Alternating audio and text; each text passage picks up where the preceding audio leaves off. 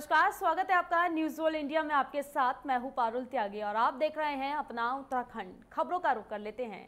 पिछले दिनों हरिद्वार की ज्वालापुर सीट से बीजेपी विधायक सुरेश राठौर पर पार्टी की ही एक महिला नेता ने दुष्कर्म करने का आरोप लगाकर भाद्राबाद थाने में मुकदमा दर्ज कराया था। बता दें भाद्राबाद थाने की पुलिस ने केस दर्ज कर जाँच भी शुरू कर दी थी, जिसको लेकर विधायक सुरेश राठौर का कहना था कि ये झूठा मुकदमा लिखवाया गया है।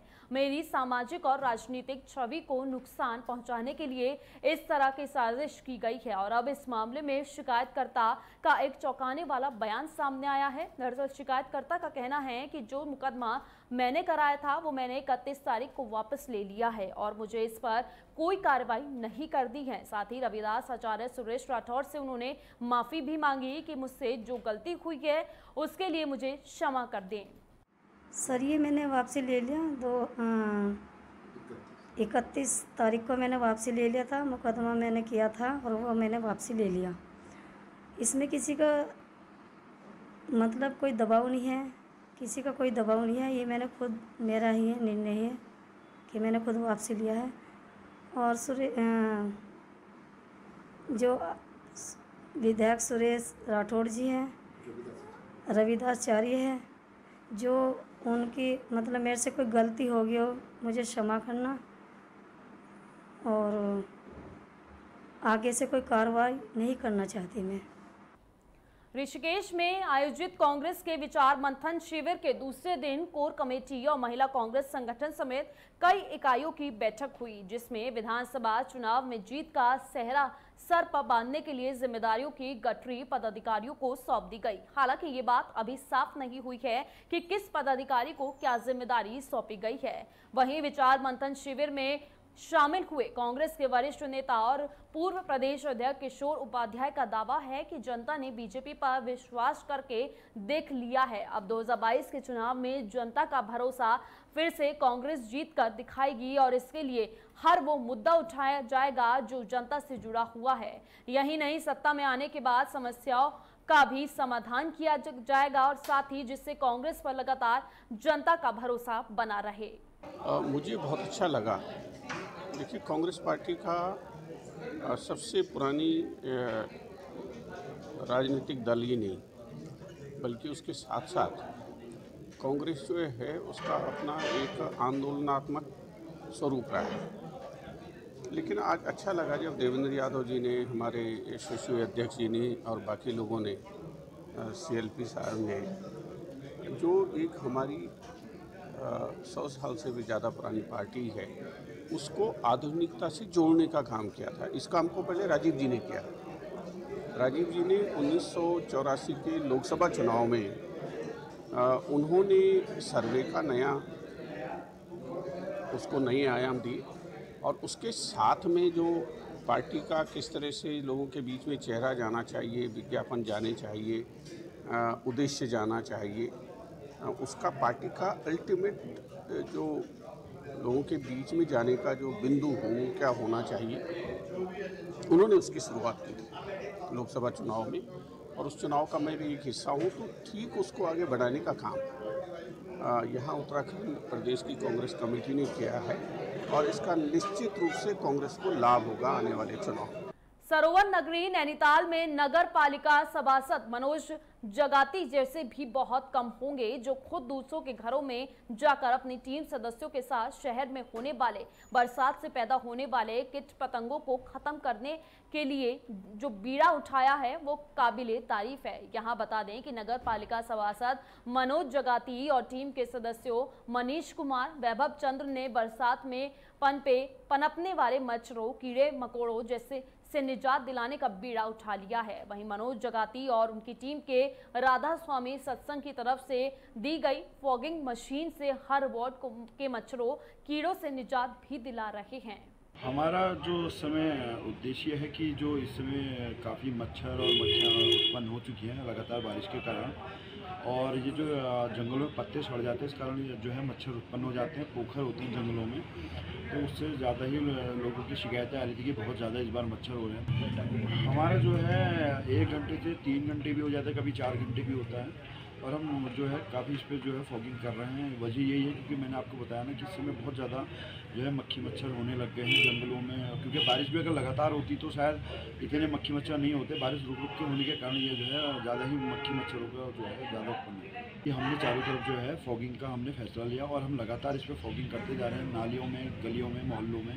तीर्थ नगरी ऋषिकेश से बड़ी दुखद खबर सामने आ रही है, जहाँ मुंबई से मुनुकिरेती के तपोवन घूमने पहुँची दो युवतियों सहित तीन लोग गंगा नदी में डूब गए। तीन लोग गंगा में नहाने उतरे थे और घटना की सूचना मिलने पर पुलिस ने तीनों लोगों की काफ़ी खोजबीन भी की, मगर अब तक तीनों का कुछ भी पता नहीं चल सका है। दरअसल प्रभारी निरीक्षक मुनि किरेती कमल मोहन भंडारी ने बताया है कि मेल राय मधुश्री खुरसांगे अपूर्वा केलकर, तीनों बोरीवली, ईस्ट उद्धव नगर मुंबई, महाराष्ट्र के निवासी थे। ये लोग दोस्तों के साथ ऋषिकेश घूमने आए थे और बुधवार की शाम तपोवन स्थित गंगा घाट पर तीनों पहुँचे और तीनों गंगा की तेज धारा में आकर बहने लगे। वहीं लोगों की चीख पुकार सुनकर मौके पर पुलिस पहुँची और तीनों लोगों की छानबीन में जुट गई है। उत्तराखंड के पिथौरागढ़ ज़िले के मुनसराई में आपदा प्रभावित गाँव मवावी दवानी शत प्रतिशत वैक्सीनेशन वाला पहला गाँव बन गया है। स्वास्थ्य विभाग की टीम बदहाल रास्तों के बीच 9 किलोमीटर की पैदल दूरी नापकर मवानी दवानी गाँव पहुँची और ग्रामीणों का टीकाकरण किया। मवानी दवानी को छोड़कर अब तक किसी भी आपदा प्रभावित गाँव में 100 फ़ीसदी वैक्सीनेशन नहीं हुआ है। बता दें, बंगापानी क्षेत्र के आपदा प्रभावित गाँव मवानी दवानी सीमांत ज़िले का पहला गाँव बन गया है, जहाँ पर हर व्यक्ति को टीका लग चुका है और इस गाँव ने 100 फ़ीसदी वैक्सीनेशन का रिकॉर्ड बना लिया है। वहीं ग्राम प्रधान मुन्नी देवी ने बताया कि गाँव के अठारह साल से ज़्यादा उम्र के दो सौ बासठ पुरुष और दो सौ चालीस महिला और तीन दिव्यांग सहित पाँच लोगों का स्वास्थ्य स्वास्थ्य विभाग ने वैक्सीनेशन किया है। कहा गया है कि अब गाँव में निवास करने वाले हर व्यक्ति को टीका लग चुका है। उत्तरकाशी से बड़ी खबर सामने आ रही है। दरअसल, वन विभाग दरोगा को निलंबित कर दिया गया है। जानकारी के अनुसार, वन दरोगा की तरफ़ से महिला वन कर्मी से अभद्रता और आपत्तिजनक टिप्पणी करने का मामला सामने आया है। बता दें, भूमि संरक्षण वन प्रभाग में तैनात महिला वनकर्मी ने इसकी लिखित शिकायत वन क्षेत्र अधिकारी और पुलिस अधीक्षक से की थी। हालाँकि, विभागीय महिला निवारण समिति ने इस मामले की जाँच की और इसके बाद समिति की जाँच में वन दरोगा को महिला वन कर्मी से अभद्रता और आपत्तिजनक टिप्पणी करने का दोषी पाया गया। समिति की रिपोर्ट को प्रभागीय वन अधिकारी भूमि संरक्षण वन प्रभाग ने वन संरक्षण भागीरथी व्रत को भेजा और मामले की को गंभीरता से देखते हुए वन संरक्षक के आदेश पर वन दरोगा को निलंबित कर नरेंद्र नगर वन प्रभाग मुनिकृति अटैच कर दिया गया है। जानकारी के अनुसार उत्तरकाशी के भूमि संरक्षण वन प्रभाग में महिला वनकर्मी ने बीती 15 जुलाई को वन क्षेत्र अधिकारी इंद्रावती रेंज को दिए लिखित शिकायत में बताया था कि विभाग के वन दरोगा रविंद्र चमोली ने बीती नवंबर 2020 में महिला वनकर्मी में साउ साथ अभद्र व्यवहार किया था और पहनावे पर भी गलत टिप्पणी की थी। जिसके बाद वन दरोगा को चेतावनी भी दी गई, लेकिन वो नहीं माना और कई बार कार्यालय के काम के बहाने घर आने की उसने कोशिश की। साथ ही व्हाट्सएप पर भी अश्लील मैसेज भेजने लगा और बीती 10 जुलाई को विभागीय भ्रमण में वन दरोगा ने महिला वनकर्मी को गलत तरीके से छुआ और साथ ही आपत्तिजनक टिप्पणी भी की। हरिद्वार में वंदना कटारिया के घर के बाहर असामाजिक तत्वों की तरफ़ से पटाखे फोड़े जाने पर हुई अभियुक्तों की गिरफ्तारी को लेकर एसएसपी हरिद्वार ने विस्तृत जानकारी देते हुए बताया है कि ओलंपिक में हार के बाद कुछ असामाजिक तत्वों ने वंदना के घर के पास जमकर पटाखे जलाए, जिसको लेकर वंदना कटारिया के भाई की तरफ़ से तहरीर देकर कार्रवाई की मांग की गई थी, जिसके चलते थाना सिडकुल पुलिस की तरफ़ से कुछ अभियुक्तों को गिरफ़्तार कर लिया गया है, जिन पर उचित कार्रवाई की जा रही है। बता दें, ओलंपिक में इतिहास रचने वाली बेटी जिसने देश का नाम रोशन किया है, ऐसे में जब उसे अपने ही पड़ोसियों की इस हरकत के विषय में जानकारी होगी, तब उसके मन में इन लोगों के प्रति क्या भावनाएँ पैदा होंगी? ये तो समय ही बताएगा, लेकिन सबसे बड़ा दुर्भाग्य ये है कि जहाँ पूरा देश महिला हॉकी टीम की जीत के लिए प्रार्थना कर रहा था, वहीं इन देशद्रोहियों ने अपना असली रूप दिखाकर साबित कर दिया कि इन्हें ना तो देश से प्रेम है और ना ही बेटियों से। ये जो है, कल शाम, कल रात को जो है हमारे पास थाने में सूचना मिली थी, लेकिन तहत का पर उनका वंदना कटारिया का भाई ने तहरीर दिया है कि इंडियन वुमेन टीम जो ओलंपिक्स में हारने के बाद जो है, इनका पड़ोस द्वारा जो है आतिशबाजी चलाना एवं शादी दूषक शब्दों का प्रयोग करने का आरोप लगाते हुए एक तहरीर दिया है।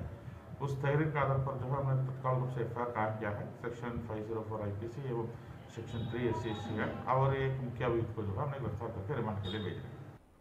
उत्तराखंड के चमोली से पहाड़ टूटने की तस्वीर लगातार सामने आ रही है, जहाँ बद्रीनाथ राष्ट्रीय राजमार्ग अट्ठावन पर जोशीमठ गोविंद घाट के बीच बलदुआ में पहाड़ टूटने की घटना हुई। पहाड़ टूटने से चट्टाने टूटकर हाईवे पर गिर गईं। जिस वक्त ये घटना हुई, उस वक्त ऑल वेदर सड़क निर्माण का काम चल रहा था। हालाँकि पहाड़ दरकने के बाद बद्रीनाथ राष्ट्रीय राजमार्ग एक बार फिर से बाधित हो गया है।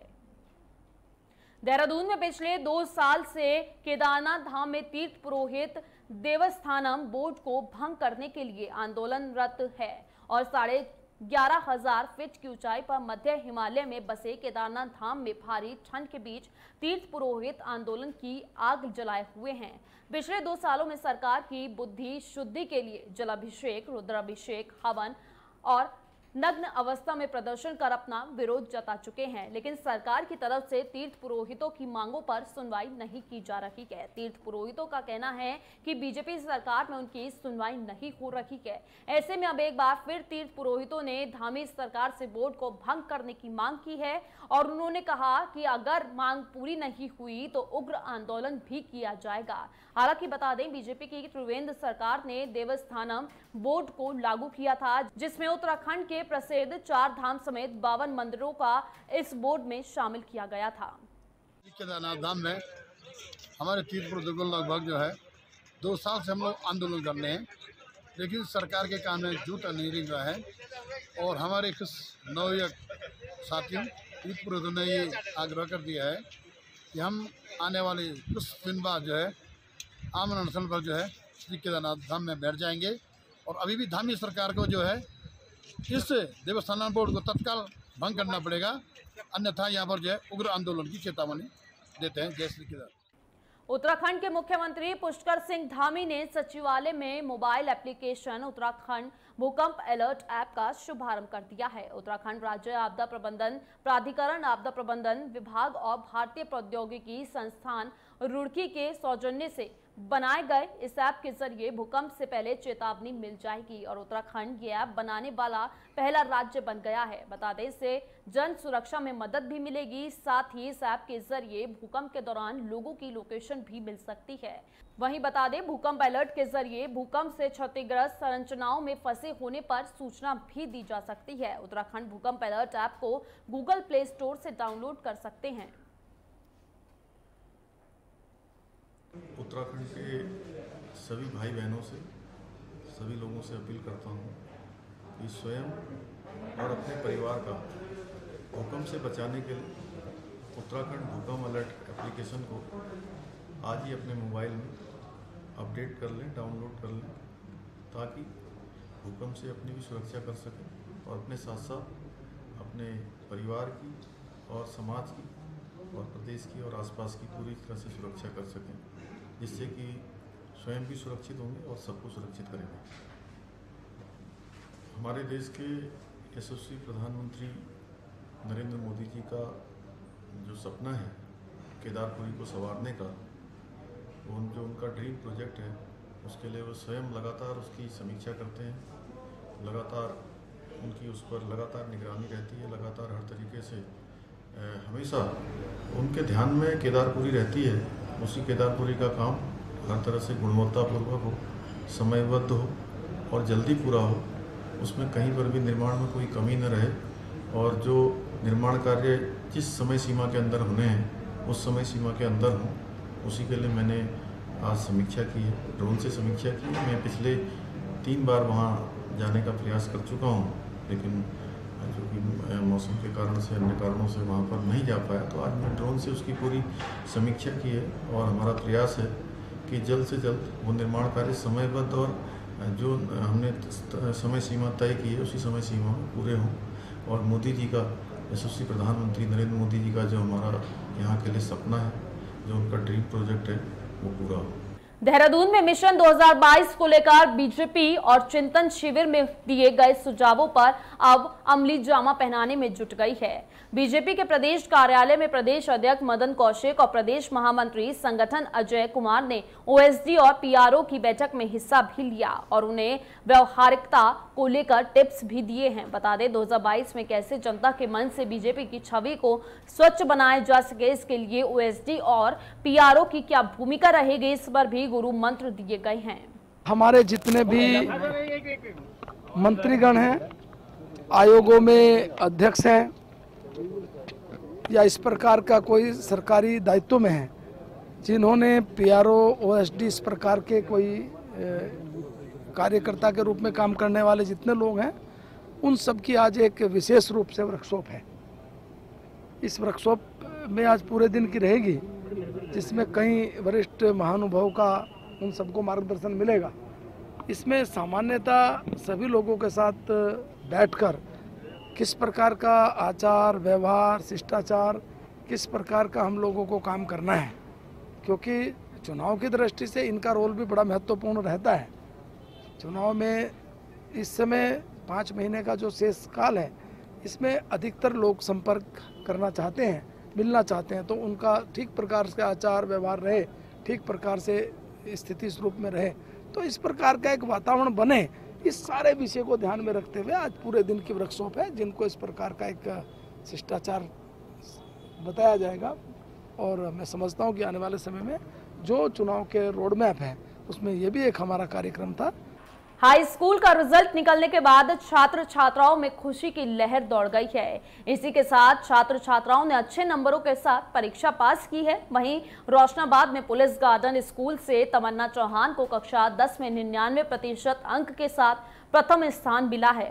वहीं अंशिका रावत ने चौरानवे प्रतिशत अंक के साथ दूसरा स्थान पाया और अक्षत रौठाना ने तिरानवे प्रतिशत अंक के साथ तीसरा स्थान पाया है। वहीं पुलिस गार्डन स्कूल के इन प्रतिभावान छात्र छात्राओं को सेंथिल अबुदाई, कृष्णराज एस वरिष्ठ पुलिस अधीक्षक हरिद्वार की तरफ़ से उत्साह वर्धन के लिए पुलिस गार्डन स्कूल में छात्र छात्राओं को पुरस्कृत भी किया गया है। ये जो है, आज हमारा पीएम स्कूल में जो हमने एक फ़ंक्शन रखा था, कल जो टेंथ स्टैंडर्ड का रिज़ल्ट आई है, इसमें पीएमएस स्कूल का स्टूडेंट ने जो है पीएमएस जनपद हरिद्वार का स्टूडेंट्स ने जो है, बहुत अच्छा प्रदर्शन किया। है इसमें जो है, हमारा स्कूल का एक लड़की है, तमन्ना चौहान ने 99 परसेंट प्राप्त करके स्कूल को टॉप किया है। अभी जो है, जो टॉप थ्री बच्चे का जो है, आज हमने पुरस्कारित करके इनको सम्मानित किया है। इसका अतिरिक्त जो वर्ल्ड इन्वायरमेंट डे और international day against drug abuse इसमें जो स्लोगन पोस्टर कंपटीशन हमने किया था, उसी बच्चों को भी आज हमने पुरस्कार किया है और बच्चों के द्वारा मांगा थे कि स्कूल का उच्चकरण plus one and plus two का होना चाहिए करके, उसको भी हम प्रस्ताव तैयार करके सीबीएसई को भेज दी गई हैं। उसका इंफ्रास्ट्रक्चर का कार्य जो है हमने प्रारंभ कर रहे हैं। नाम अंशिका रावत है, मैं क्लास टेंथ में 94 परसेंट से पास हुई हूँ। मेरी मम्मी पापा मुझे बहुत सपोर्ट करते हैं पढ़ाई में, हर चीज़ जो जैसे कि पढ़ाई में किसी चीज़ की ज़रूरत हो तो एकदम सपोर्ट करते हैं। सो मुझे गेम खेलना बहुत पसंद है टीवी देखना भी बहुत पसंद है और पढ़ना भी अच्छा लगता है। सो मैं इंजीनियर बनना चाहती हूँ। मैं तो यहाँ फ़र्स्ट क्लास से पढ़ रही हूँ और जो भी आज तक जो भी सीखा वो इसी स्कूल से सीखा और हम्म, मैं आगे चल के डॉक्टर बनना चाहती हूँ। तिरंगा झंडा जिस शान से लहराता है, उसे देखकर हर भारतवासी का दिल भावों से भर जाता है। देश के प्रति समर्पण और प्रेम का संचार मन में होता है। इसी भाव को प्रेरित करने के लिए त्रिवेणी घाट, ऋषिकेश में एम की तरफ़ से स्थापित 101 फीट ऊँचे राष्ट्रीय ध्वज तिरंगे का अनावरण उत्तराखंड विधानसभा अध्यक्ष प्रेमचंद्र अग्रवाल और नगर निगम की मेयर अनिता ममगगाई ने किया है। वहीं इस मौके पर तिरंगे को सलामी भी दी गई। बता दें कि हर दिन गंगा माँ के उद्घोष से गूंजने वाला त्रिवेणी घाट देशभक्ति के नारों से गूंजता हुआ नज़र आएगा। वहीं मौजूदा लोगों की आँखों में तिरंगे को फैरता देख एक अलग ही चमक भी दिखी। बता दें कि तिरंगा झंडा 101 फीट ऊँचा और 20 फीट चौड़ा और 30 फीट लंबा बनाया गया है। इसके साथ झंडे के लिए फोकस लाइट्स भी लगाई गई हैं, जिसका सीधा फोकस तिरंगे पर पड़ेगा, जिसकी रोशनी में देश का राष्ट्रीय ध्वज खूबसूरत नज़र आएगा। पहले मैं आज त्रिवेणी घाट, जहाँ हमारे ऋषिकेश की, जिसे हम लोग हृदय स्थली कहते हैं, उस पर एक सौ एक फीट तिरंगे का आज अनावरण हुआ है। उसके लिए सभी को बहुत बधाई देता हूँ। और जिस प्रकार से आपने जाना होगा कि 16 अक्टूबर 2020 को मैंने अपने विधानसभा के अंदर भी संविधान दिवस के दिन वहाँ इस प्रकार का काम किया, आज यहाँ कर रहा हूँ। और मुझे ऐसा लगता है कि ये हमारे आन बान शान का प्रतीक है। तमाम उन रणबाकरों को, तमाम शहीदों को नमन कर रहा हूँ। और मैंने आज जितनी भी बातें आज कही शहीदों के बारे में, मैं उस बात को जोड़ते हुए कह सकता हूँ कि ये हमारे लिए मात्र एक कपड़े का टुकड़ा नहीं है। ये हमारे आन बान शान का प्रतीक है। यहाँ विश्व के अनेकों लोग जब आएँगे यहाँ की सुंदरता, यहाँ पतित पावनी गंगा के तट पे आके आचमन करना, उसमें स्नान करना के साथ जब यहाँ की भव्यता देखते हैं, आपने देखा कि दो करोड़ की लागत से ये त्रिवेणी घाट की सुंदरता का काम हुआ। मैरिन ड्राइव बना, ये प्लेटफॉर्म उससे पहले बना। अनेकों काम मेरे द्वारा इस ही स्थान के लिए हुए, लेकिन आज उसमें एक इजाफा और हुआ है। और मैं तो आज इस बात को लेके और खुश हूँ कि जहाँ पाँच अगस्त को आप हमारे देश के माननीय प्रधानमंत्री जी ने आपने लोकसभा के अंदर जब घोषणा की थी कि जम्मू कश्मीर से धारा 370 पैंतीस से हटाई जाएगी, वो ऐतिहासिक क्षण। उसके बाद राम मंदिर का शिला पूजन यानी राम मंदिर निर्माण का रास्ता साफ़ हुआ वही पाँच अगस्त तो एक साल पहले। और आज पाँच अगस्त को ही हमारी भारतीय हॉकी टीम ने जिस प्रकार से इकतालीस साल बाद कांस्य पदक जीता, मैं उसके लिए बहुत बधाई दे रहा हूँ। और ये ऐतिहासिक क्षण और जुड़ा है तो सभी बातों को लेकर मैं कह सकता हूँ कि पाँच अगस्त हमेशा अमर रहेगा हमारे भारतीयों के लिए। उन सबको मैं बहुत बधाई दे रहा हूँ। तौर पर सबसे पहले मैं पूरे शहर वासियों को बहुत बहुत बधाई देती हूँ कि जो हमारे आन बान शान का प्रतीक एक सौ एक फीट ऊँचा राष्ट्रीय ध्वज जो आज हमने त्रिवेणी घाट पर लहराया है, जिसके लिए कि मैं लगातार प्रयासरत थी और मैं चाहती हूँ कि इस पतित पावनी माँ गंगा के तट पर जो भी आए वो इस अपने राष्ट्र ध्वज का भी दीदार करें, उसके नीचे बैठ के वो अपने राष्ट्रभक्ति की अनुभूति महसूस करें। आज वो सौभाग्य वो दिन आया यहाँ पर, क्योंकि पाँच अगस्त मैं मानती हूँ कि बहुत ही ऐतिहासिक तारीख हमारे लिए है। उसमें चाहे धारा तीन सौ सत्तर पैंतीस से हटने का हो, सर्जिकल स्ट्राइक का हो, राम जन्म मंदिर का, राम जन्म भूमि में जो मंदिर निर्माण के तारीख का जो फैसला आया, वो पाँच अगस्त को हमारे लिए, या आज के दिन जो कि 41 साल बाद हमने हॉकी में रजत पदक जीता है उसके लिए। तो ये बहुत ही शुभ दिन आज हमारे लिए है और आज अपने जन्म दिवस पर, अपने जन्म दिवस में अपनी राष्ट्रीय हॉकी टीम को समर्पित करती हूँ।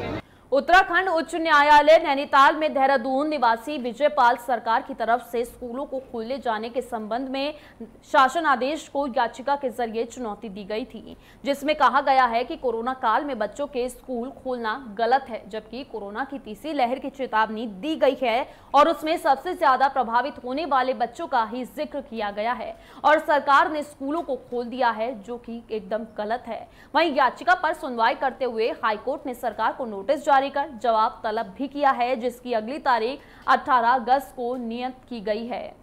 पिथौरागढ़ के जिलाधिकारी डॉक्टर आशीष चौहान ने जिलाधिकारी पिथौरागढ़ के पद पर अपना कार्यभार ग्रहण कर लिया है। सबसे पहले जिलाधिकारी की तरफ़ से मुख्य कोषागार में से दविती तालाब का निरीक्षण कर चार्ज लिया गया और इसके बाद जिलाधिकारी ने अपने कार्यालय कक्ष में जनता की समस्याएँ सुनी और उनके निस्तारण के संबंधित विभागों को निर्देश भी दिए। वहीं जिलाधिकारी की तरफ़ से जिला कार्यालय की कई पटल प्रभारियों से शासकीय कार्यों की जानकारी लेते हुए आवश्यक निर्देश भी दिए गए हैं। नैनीताल, सरोवर नगरी और उसके आसपास मौसम वैज्ञानिक की भविष्यवाणी सटीक साबित होती जा रही है। आज सुबह से ही आसमान में घने बादल छाए हुए हैं और लगातार बारिश का दौर जारी है, जिससे पर्यटकों से लेकर स्थानीय लोग भी अपने अपने घरों में रहते हैं। वहीं आने जाने वाले लोगों को परेशानियों का सामना करना पड़ रहा है। यहाँ स्कूलों के खुलने से छात्र छात्राओं को भी तमाम परेशानियों का सामना करना पड़ रहा है और यहाँ बता दें कि बारिश के चलते दो शहरी मार्ग और छह ग्रामीण मार्ग बंद रहे, जिसको खोलने की व्यवस्था की जा रही है। अपना उत्तराखंड में आज के लिए बस इतना ही। आप देखते रहिए न्यूज़ वर्ल्ड इंडिया